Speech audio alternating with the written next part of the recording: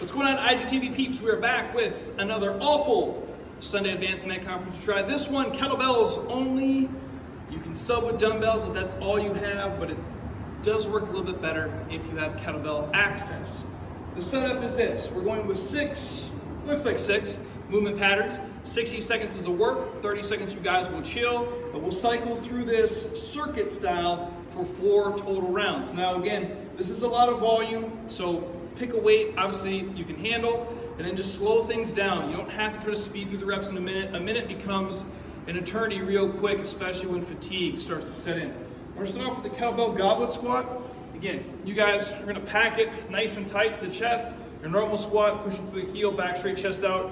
Full range of motion for all 60 seconds. From there, we're gonna go with the kettlebell palm press. Now, depending on what loads you guys have access to. Now palm press, like just, again, just palm it nice and flat right in between where the belt inserts. Again, if you guys are worried about hitting your face, just keep a hand here just in case. And again, err on the side of caution, pick something light when you start. Again, all we're doing is just overhead pressing for a full 60 seconds. My offhand, I usually like to reach and offset it or put it on the hip for a little bit of counterbalance, especially if you guys do pick a load that's a little bit heavier. Once all 60 seconds are on the right, do the same exact pattern on the left side. From there, the kettlebell gorilla rows. I set them up just inside my foot stands. And again, you guys little, almost like semi-squat kind of hip hinge, almost like that shortstop stance, and I go a little bit deeper, depending on the range of motion. We're gonna alternate these for 60 seconds. So I'm gonna hold one in place, full row, and just take one and replace one, whatever speed you can handle for the full minute. Once that's done, kettlebell swings. Again, we, we've been through it before, soft, knees, hip, and ankles. It's just a, it's a hip thrust. That's what we're talking about. When you guys swing, we're driving the ass and butt back as far towards that wall as we can, and we're just thrusting, swinging forward.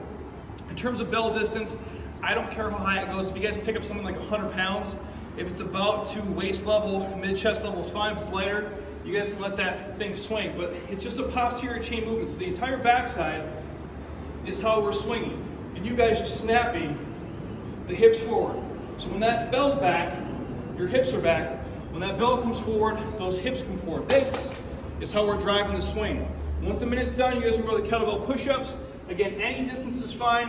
I like neutral grip. You guys can go underhand, overhand, make it as sexy as you want. A minute of these gets real rough. In a perfect world, when you guys press down, it's full range of motion. A little deep stretch, extend up top, nice deep stretch at the bottom. And then again, relaxing, doing what you can handle in a minute. If it gets tough, just hang on an extension. It'll be a little bit easier for you. That would be one cycle. We're gonna go through four total rounds. 60 on, 30 off for the four sets. Tag a buddy, tag me. Have fun.